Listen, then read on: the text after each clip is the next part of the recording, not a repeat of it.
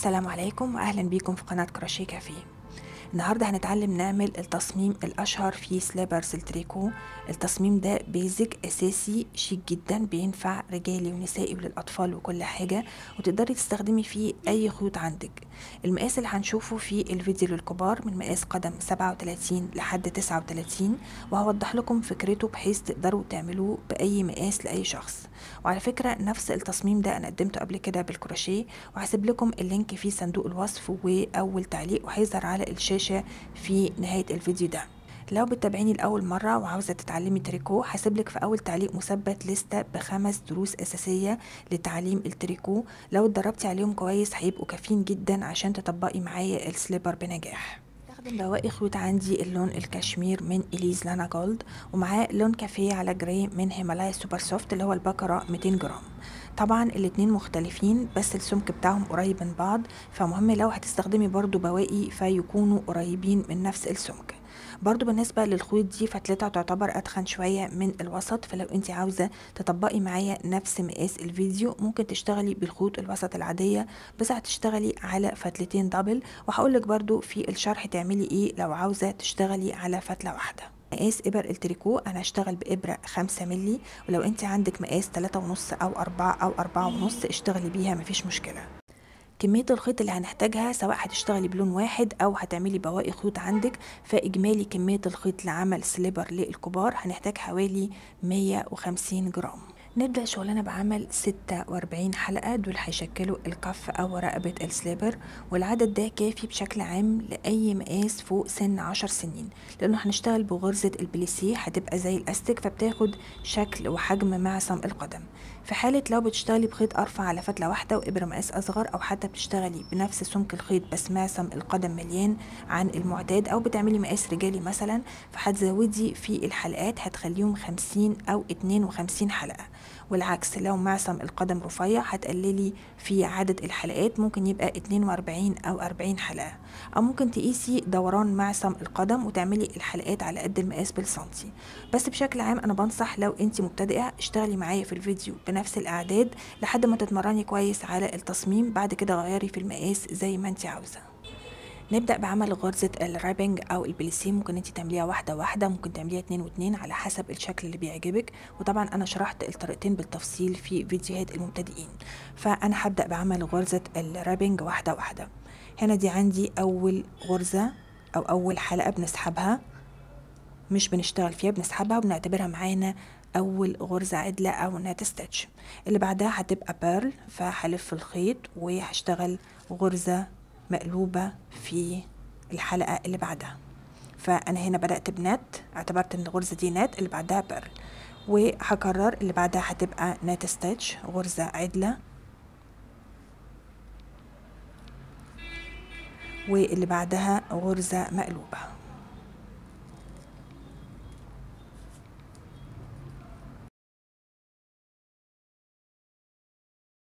على نهاية السطر. آخر حاجة هنا عندي غرزة بيرل غرزة مقلوبة. فالغرزة اللي بعدها هتبقى نات غرزة عدلة. وآخر حلقة عندي هتبقى بيرل.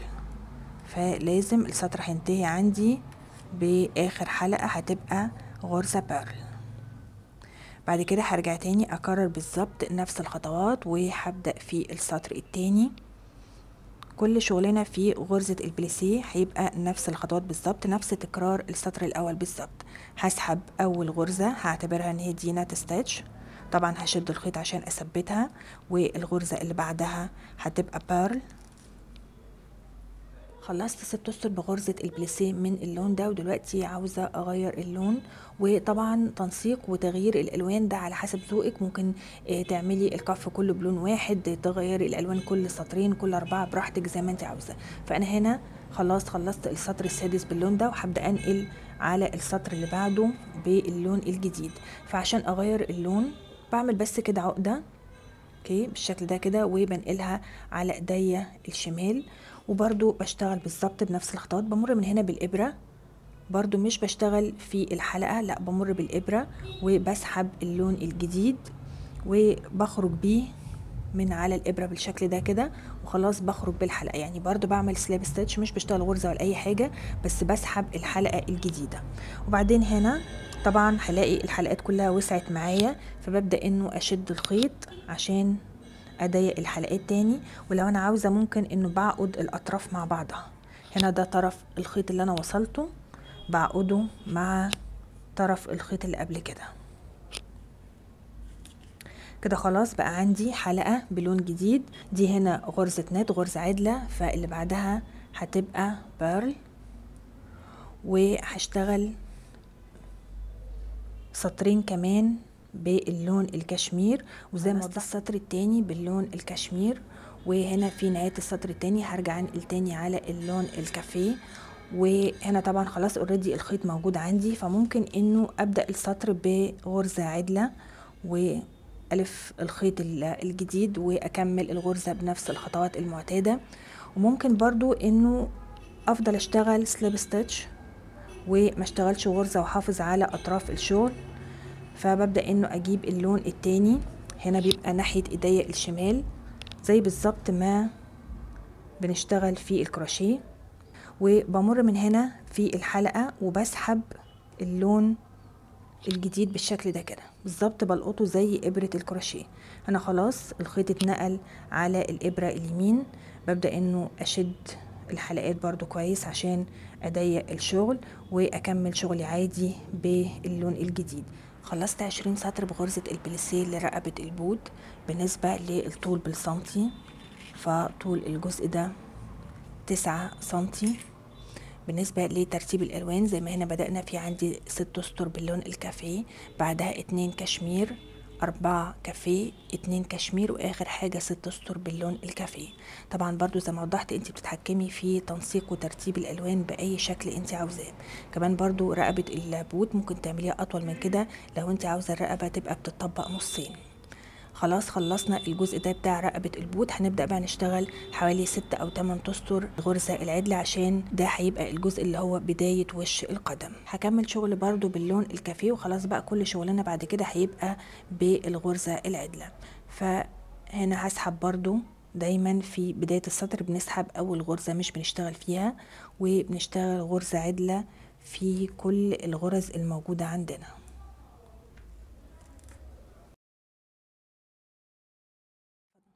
هنا بقى لما بنوصل للحلقة الأخيرة في نهاية السطر زي ما اتعلمنا في دروس المبتدئين عشان نحافظ على تناسق الأطراف اللي هي تفضل واخدة شكل حرف ال V فهنا في الحلقة الأخيرة بنشتغل ممكن في الحلقة الخلفية أو ممكن إنه بنشتغلها غرزة مقلوبة.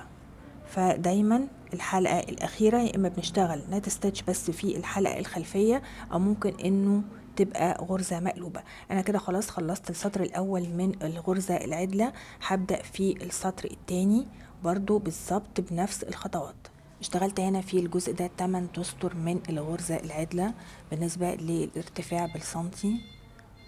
ارتفاع الجزء ده 2 سنتي. حابة برضو أقيس لكم عرض الجزء ده.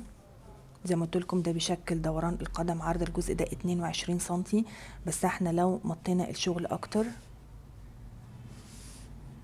شوفوا ممكن يوصل معانا تقريبا ل 30 سنتي. بالنسبة هنا للمقاسات الرجالي أو لو بتعملي مقاسات أكبر أو وش القدم عريض شوية فهتشتغلي في الجزء ده عشر تستر وبالنسبة للمقاسات الأصغر هتشتغلي في الجزء في الجزء ده ست تستر بس. دلوقتي أنا هنا عندي 46 غرزة عاوزة أفصل هنا في السنتر 14 غرزة عشان ده هيشكل عندي عرض وش القدم وال 14 غرزة دول هيبقوا كافيين لأي مقاس للكبار. بس برضو طبعا بالنسبة للمقاسات الرجالي أو لو وش القدم عريض شوية هتفصلي هنا 16 غرزة. بالنسبة للمقاسات الأصغر هتفصلي هنا في الجزء ده 12 غرزة بس. فأنا هفصل هنا 14 من ال 46 يعني المفروض هنا يبقى عندي 16 وهنا يبقى عندي 16 عشان افصل الغرز الموجوده هنا واوصل للغرز الموجودة في السنتر. فممكن أنا افصلهم بأي طريقة. ممكن أنا افصلهم بإبرة تريكو تانية بأي مقاس موجود عندي. ممكن استخدم حتى عصيان الباربيكيو وإحنا already اشتغلنا بيها برضو قبل كده. ممكن إنه أستخدم طبعا ال pins أو اللي هي الدبابيس بتاعت الخاصه بالتريكو الخاصة بالحاجات دي هعرض لكم صورتها على الشاشة. بس طبعا لو أنا مش موجود عندي كل ده فهستخدم طريقة بدائية خالص هي إن أنا هلضم أي خيط موجود عندي. ممكن الخيط اللي أنا بشتغل بيه هلضمه في إبرة التنظيف. أنا هنا بس بستخدم خيط سميك وبلون مختلف عشان يبقى أوضح في الشرح.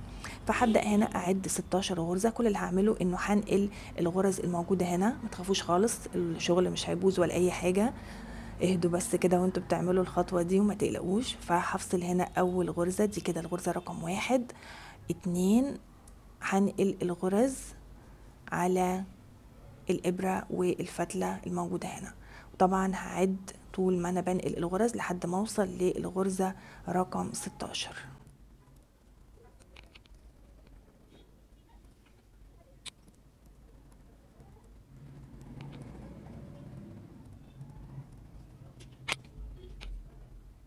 دلوقتي أنا هنا فصلت 16 غرزة فهبدأ بقى إنه اعقد أطراف الخيط طبعا عشان الغرز ما تفلتش مني.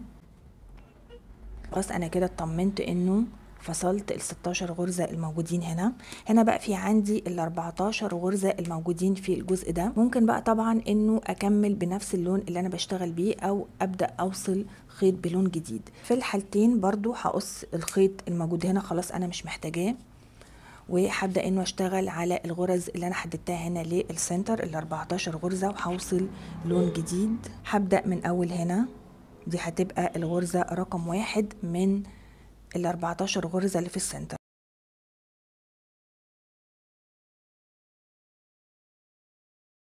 خلاص الغرزة رقم واحد. وهبدأ بقى أشتغل على بقية الغرز. طبعا هنا برضو ممكن اعقد الأطراف. أشتغل الغرزة رقم اتنين وأكمل لحد ما أوصل للغرزة رقم أربعتاشر. خلاص خلصت الاربعتاشر غرزة اتنين أربعة ستة تمانية عشرة اتناشر أربعتاشر. خلاص بقى هسيب الجزء ده. هجيب هنا كده الغرز في السنتر عشان برضو ما تفلتش مني وهبدأ هنا أكرر نفس الخطوات وأنقل ال 16 غرزة الموجودين هنا برضو بنفس الطريقة اللي عملناها هنا بالظبط.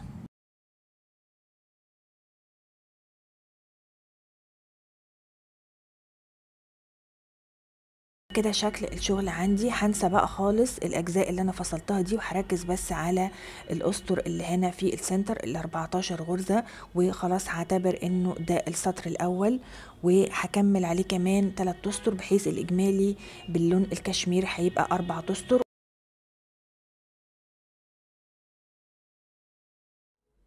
خلصت أربع أسطر باللون الكشمير ده هنا الوش الصحيح للشغل ده هنا بيبقى منطقة الظهر. هبدأ دلوقتي أوصل اللون الكافيه وطبعا هسيب اللون الكشمير زي ما هو مش هقصه وهبدأ أوصل اللون الكافيه. وعاوزة أوضح إنه طريقة وصل الخيط ممكن آه توصلي الخيط أو تغيري اللون بأي طريقة سهلة عليكي. مش لازم انت تعملي نفس الطريقة اللي بتشوفيها معايا. طبعا برضو هشد هنا أطراف الخيط كويس ممكن تعقديها لو انت حابة بس هي كده كده هتثبت مع الشغل. خلاص أنا كده نقلت على اللون الكافيه هكمل شغلي عادي. وهشتغل السطر الأول وهكمل بعديه كمان 3 أسطر.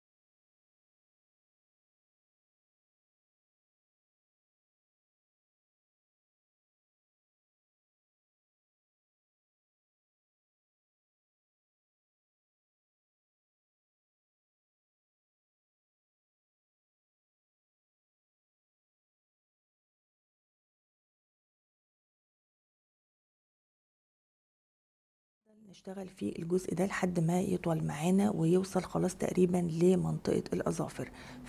فالجزء ده هو اللي بيحدد لنا مقاس السليبر بالظبط. لازم تفضلي تشتغلي فيه لحد ما خلاص يبقى فاضلك آخر أربع سطور عشان يغطي منطقة الأظافر.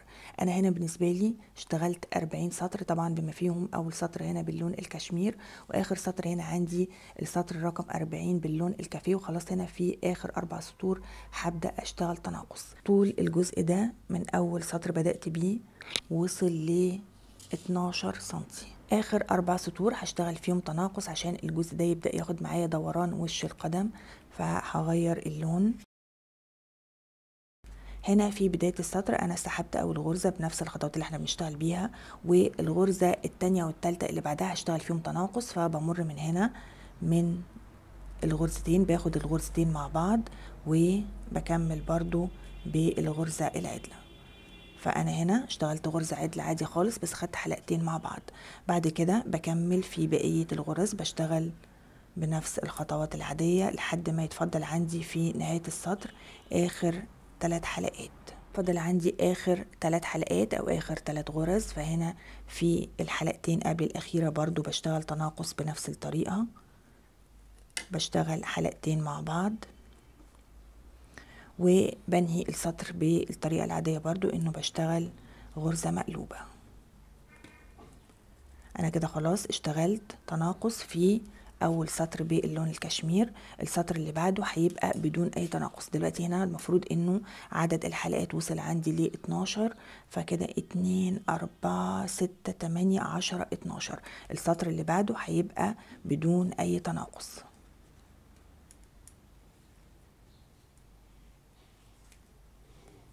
تناقص هبدأ السطر التالت وهيبقى في تناقص. بسحب أول غرزة والتناقص بيبقى في الغرزتين اللي بعدها برضو بنفس الخطوات. بشتغل غرزة عدلة بس باخد حلقتين مع بعض. بكمل في بقية الغرز لحد ما يتفضل عندي آخر ثلاث حلقات. آخر ثلاث حلقات في الحلقتين قبل الأخيرة. وبنهي السطر بغرزة مقلوبة. كده أنا خلصت السطر الثالث السطر الرابع والأخير. هيبقى بدون أي تناقص. عدد الغرز هنا طبعا عندي عشرة اتنين أربعة ستة تمانية عشرة. ده شكل الشغل عندي بعد ما اشتغلت التناقص في آخر أربع سطور وطول الجزء ده وصل ل 14 سنتي. هقص الخيوط الموجودة هنا. الخطوة اللي بعدها إنه هنبدأ بقى نجمع كل الغرز الموجودة هنا عشان نشكل سطر واحد مستقيم ونقدر إن إحنا نشتغل عليه جوانب السليبر وبعديه النعل. فهبدأ أجمع ال 16 غرزة الموجودين هنا وبالنسبة للجزء ده أنا هنا عندي 44 سطر طبعا بما فيهم آخر أربع سطور للتناقص وقصاد كل سطرين بنأسس غرزة واحدة بس. فأنا هنا عندي 44 سطر فنص العدد 22 يعني المفروض إنه بأسس هنا في الجزء ده 22 غرزة. قصاد كل سطرين بنأسس غرزة واحدة بس. وهنا طبعا في الجانب المقابل برضو هيبقى عندي 22 غرزة. فهبدأ أول حاجة بتجميع ال 16 غرزة الموجودين هنا. فهبدأ أنقل بنفس الإبرة على الغرز الموجودة هنا وأبدأ أنقل الحلقات أو ال 16 حلقة الموجودين هنا. ببدأ إن أنا أمر بالطريقة دي كده.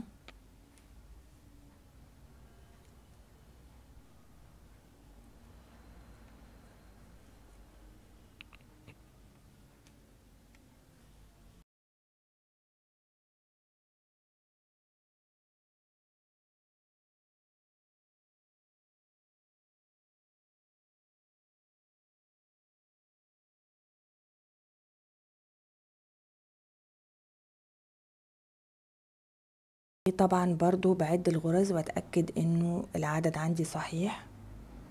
اتنين أربعة ستة تمانية عشرة اتناشر أربعتاشر ستاشر. فخلاص بقى أقدر إنه أشيل الخيط الموجود هنا. ده شكل الشغل بعد ما نقلت ال 16 غرزة الموجودين هنا. وهبدأ بقى من هنا أوصل الخيط. طبعا الخيط اللي هنا إحنا قصيناه فهنبدأ بقى نوصل الخيط على حسب اللون اللي انت عاوزاه. دي هنا طبعا عندي الغرزة الأولى من الستاشر وهكمل لحد ما أوصل للغرزة الأخيرة. فدي الغرزة رقم واحد وبعدها الغرزة رقم اتنين. فأنا بشتغل عادي خالص في الستاشر غرزة زي ما هما. اشتغلت ال 16 غرزة عادي خالص الموجودين في بداية السطر وعاوزة أنقل بقى وأسس ال 22 غرزة الموجودين هنا. بس أنا في عندي الزاوية الموجودة هنا لو أنا نقلت على طول على الجانب ده هنا هيتشكل عندي فراغ.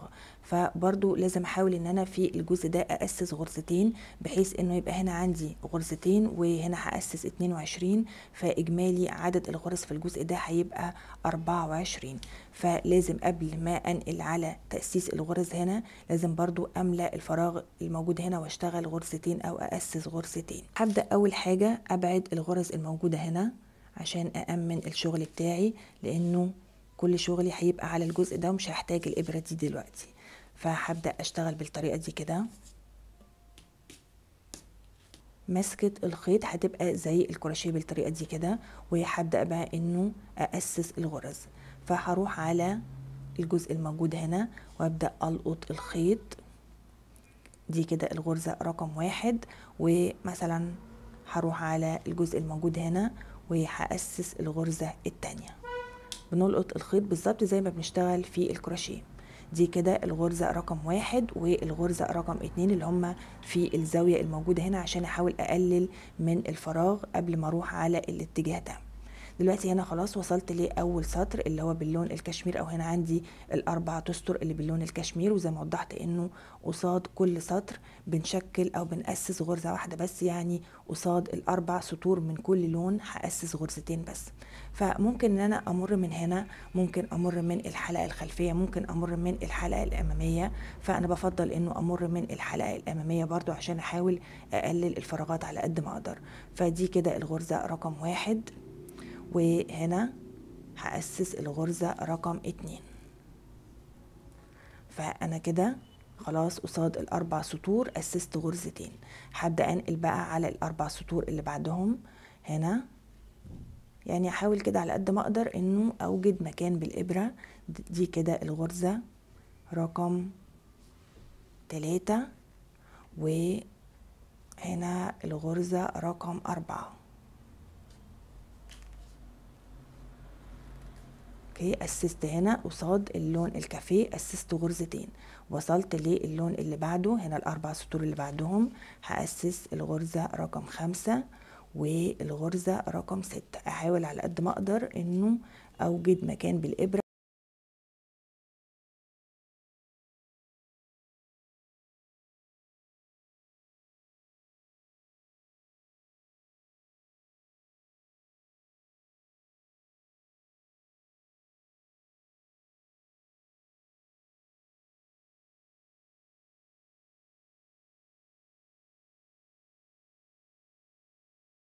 خلاص اتأكدت انه عندي 24 بعد ال 16 اللي في بداية السطر. هبدأ بقى أكمل شغل وهنقل على العشر غرز الموجودين هنا. ابدا أشتغل هنا في أول غرزة من العشرة. طبعا مش هسحب الغرزة سلاب ستيتش ولا حاجة هبدأ على طول إنه أشتغل فيها غرزة عدلة دي طبعا تكملة السطر عندي فمش هينفع إن أنا أسحبها. وهنا في أول غرزة في بداية السطر بمر هنا من الحلقة الخلفية بس عشان أظبط اتجاه الشغل أكتر. وبرضو بأمن الشغل بتاعي لو في أي خيوط بشدها كويس. وبكمل دي كده أول غرزة من العشرة. بكمل في التسعة اللي فاضلين. الغرزة الأخيرة دي تكملة السطر عندي فمش بشتغل فيها بقى مقلوبة ولا حاجة لأ برضو بشتغل فيها غرزة عدلة وبتبقى من الحلقة الأمامية عادي. ودلوقتي بقى هبدأ إنه أسس ال 22 غرزة الموجودين في الاتجاه ده زي ما أسسنا هنا. هنا بقى في الجزء ده ممكن إنه أستعين بإبرة الكروشيه برضو عشان تسهل عليا أكتر فبمر من خلال الجزء الموجود هنا. وأبدأ إنه ألقط الخيط وأسحبه. وانقله على الإبرة. دي هنا أول غرزة للأربع سطور ودي الغرزة التانية. okay؟ وبعد كده بقى ممكن أكمل. لو أنا سهل عليا إنه أكمل بالإبرة وخلاص مش هحتاج إبرة الكروشيه أو ممكن إنه برضو أكمل بإبرة الكروشيه لو أنا حابة.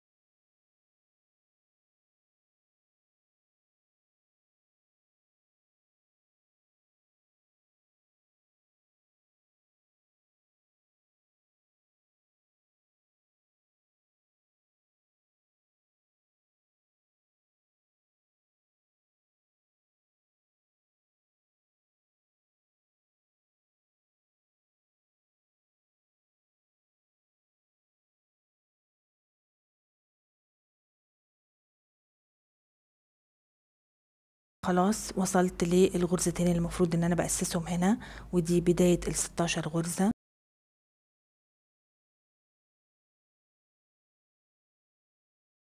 وأنا هنا خلاص وصلت لل 16 غرزة. فهنا في الجزء ده مش هلقط الغرز بالإبرة دي لا هبدأ بقى إنه أنقل على الإبرة التانية. وهجيب بقى كل الغرز الموجودة هنا هجيبها كده على جنب. عشان أأمن الجزء ده وهبدأ بقى إنه أفك ال 16 غرزة الموجودين هنا وأنقلهم على الإبرة التانية.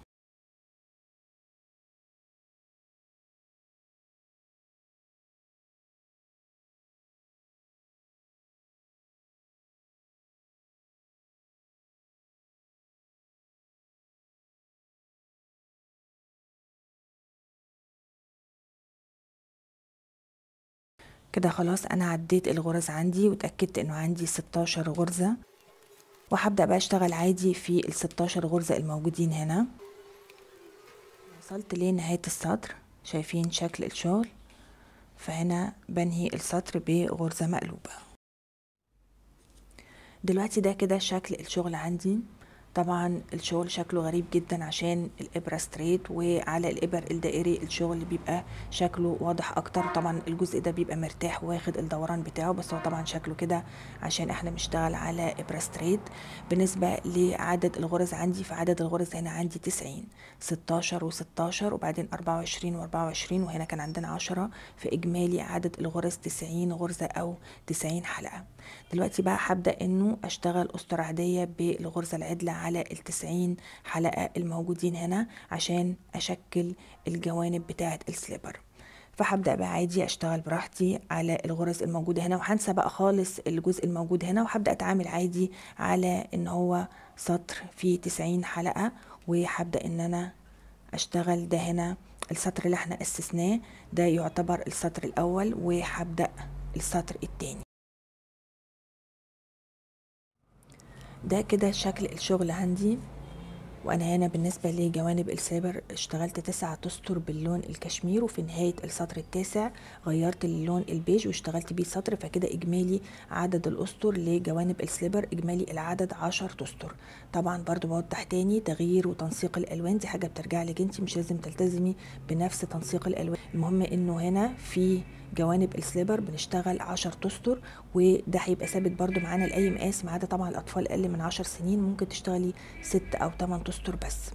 الخطوة اللي بعدها بقى هنبدأ إنه نشتغل بس على العشر غرز الموجودين هنا عشان نشكل منطقة النعل. فأنا هنا في عندي 90 غرزة هفضل أشتغل لحد ما أوصل للغرزة رقم 40 وبعدين هبدأ أشتغل على العشر غرز بس الموجودين هنا. عاوزة برضه أوضح إنه ده هنا الوش الصحيح للشغل. زي ما إحنا شايفين كده الشغل ناعم ومتناسق وده منطقة الظهر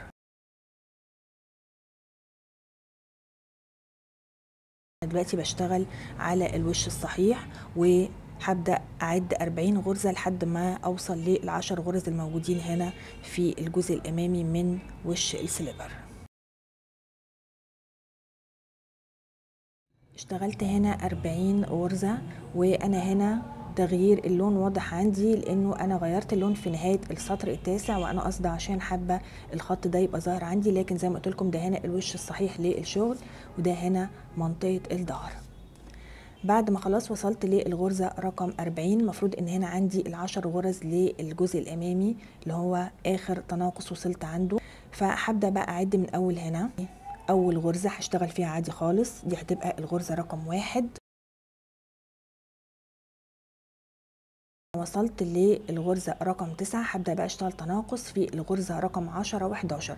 فأنا باخد معايا الغرزة الأخيرة مع غرزة كمان من الغرز الموجودين هنا في الجزء المقابل. هشتغل فيهم تناقص بالغرزة المقلوبة.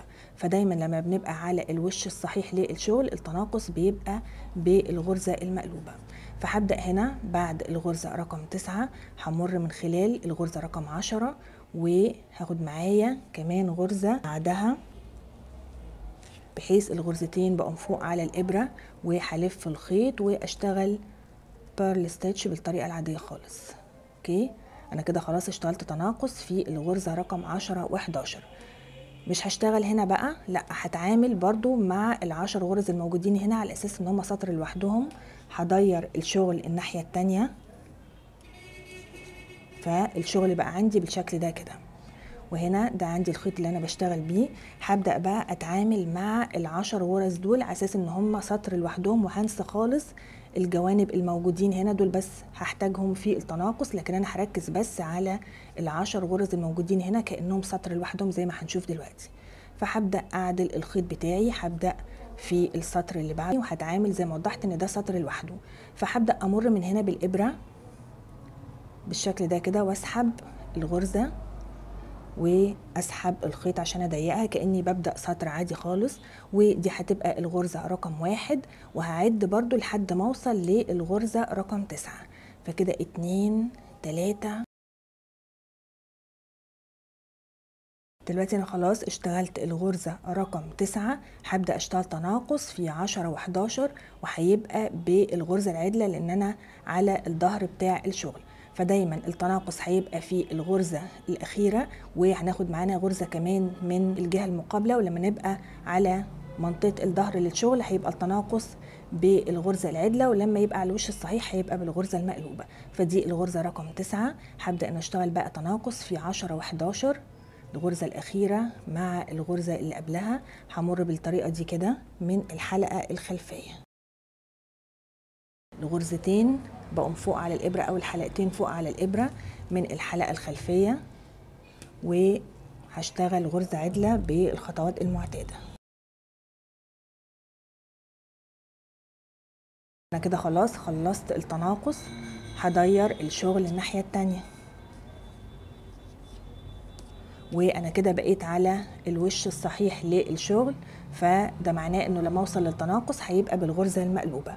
هسحب هنا اول غرزة كأني ببدأ سطر جديد هنقلها على الإبرة الثانية الابره اليمين ودي كده الغرزة رقم واحد هعد لحد ما اوصل للغرزة رقم تسعة.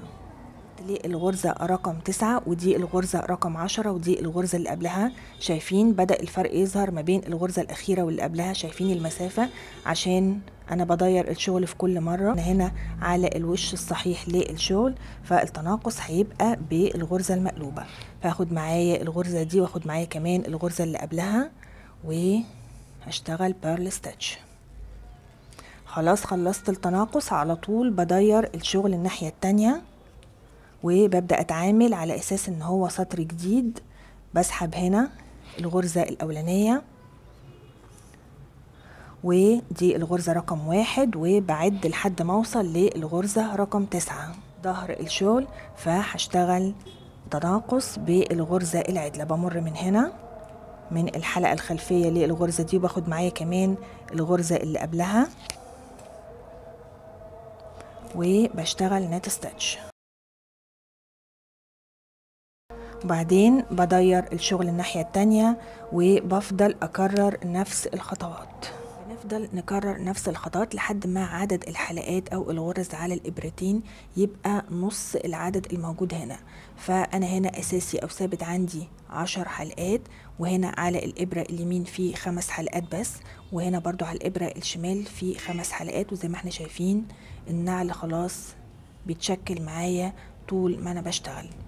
لما بنوصل للعدد ده بنبدأ إنه برضو نكرر نفس الخطوات. أنا هنا هبدأ برضو سطر جديد وهكرر نفس الخطوات وهعد الغرز لحد ما أوصل للغرزة رقم 8 دلوقتي أنا هنا اشتغلت 8 غرز فاضل عندي الغرزة رقم 9 و10 وهبدأ بقى دلوقتي أشتغل تناقص بثلاث حلقات. فاخد معايا الغرزة رقم 9 و10 وحلقة كمان من الموجودين هنا وبرضو أنا هنا على الوش الصحيح للشغل فهشتغل تناقص بغرزة مقلوبة. الحلقة رقم تسعة وعشرة وكمان الحلقة اللي قبلهم كده بقى عندي ثلاث حلقات فوق على الإبرة هلف الخيط وهكمل بقية الغرزة.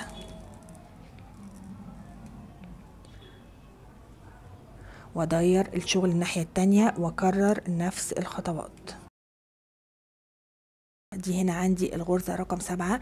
أهم حاجة إنه يتفضل عندي آخر حلقتين على الإبرة. فدي الغرزة رقم سبعة ودي رقم تمانية وتسعة. فأنا بفضل أشتغل لحد ما يتفضل عندي آخر حلقتين هنا في السطر عشان أشتغل تناقص مع الحلقة الموجودة هنا ويبقى عندي ثلاث حلقات أنا هنا على ظهر الشغل فهشتغل تناقص بالغرزة العدلة في الحلقة الخلفية وهاخد معايا آخر حلقتين هنا في نهاية السطر واخد معايا كمان حلقة الموجودة هنا وهشتغل تناقص بالغرزة العدلة.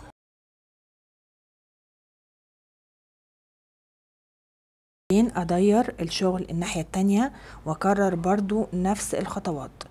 بفضل أشتغل السطر عادي لحد ما بيتفضل عندي آخر حلقتين في نهاية السطر. بعدين بشتغل تناقص باخد معايا الحلقة اللي قبلهم وبشتغل تناقص في الثلاث حلقات. وبعدين أبدأ في السطر اللي بعده وأكرر. اشتغل بنفس الطريقة وخلاص هنا فاضل عندي آخر أربع حلقات هنا ثلاثة وهنا حلقة واحدة. فعشان خلاص أقرب إنه أنهي الشغل برضو بدير الشغل الناحية التانية. وبرضو هنا بسحب الحلقة الموجودة هنا وبشتغل تناقص في آخر حلقتين عندي.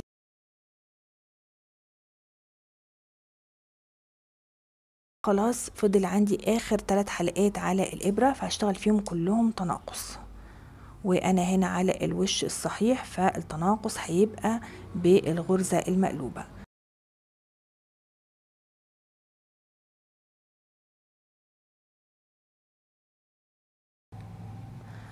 بعدها بقى هبدأ إنه أنهي الشغل هسيب مسافة كافية من الخيط. يعني مثلا ممكن حوالي يعني 30 أو 40 سنتي وهبدأ أرتفع بالإبرة كده لفوق وأعمل كده عقدة. طبعا بننضف كل الخيوط الزيادة داخل الشغل. أنا هنا بس سبت حاجات بسيطة. وهنبدأ بقى نخيط الجوانب الموجودين هنا. وطبعا بتخيطي الجوانب بأي طريقة سهلة عليكي. ممكن تخيطيها عادي بطريقة الخياطة العادية. وأنا هنا برضو هتلاحظوا إنه الغرز عندي شكلها مش حلو لأنه أنا خيطت الأجزاء دي قبل كده ورجعت فكيتها تاني لأنه كان آه في مشكلة في التصوير. اضطريت إن أنا أفك وأعيد التصوير تاني فعشان كده هتلاقوا الغرز شكلها مش حلو. المهم إنه بنعقد طرف الخيط اللي إحنا سبناه ده في إبرة التنظيف. ببدأ أضم الأجزاء دي كده على بعضها بحيث إنه الشغل كله يبقى متناسق والألوان على قد ما أقدر تبقى متناسقة قصاد بعضها. زي ما وضحت ممكن تخيطي بأي شكل انت عاوزاه بس برضو في طريقة تانية في التريكو هي إنه بنخيط من العقدة بتاعة الغرزة العدلة الموجودة هنا. فأنا هنا في عندي على طرف الشغل مش بخيط من حرف ال V نفسه لأ بروح على العقدة بتاعة الغرزة العدلة الموجودة قبلي على طول وبمر بالإبرة واسحب الخيط. وبعدين بروح هنا على الجهة المقابلة وبرضو بروح على الغرزة العدلة العقدة الموجودة هنا على طرف الشغل وبمر من خلالها بحيث إن أنا أضم الأجزاء دي على بعض بالشكل ده كده. وبفضل أكرر بقى بروح على هنا في عندي السطر اللي بعده. بحاول كده على قد ما أقدر إنه أركز على أطراف الشغل وأمر من خلال الغرزة العدلة أو العقدة البامب للغرزة. وهنا برضو في الجهة المقابلة بمر وبسحب الخيط.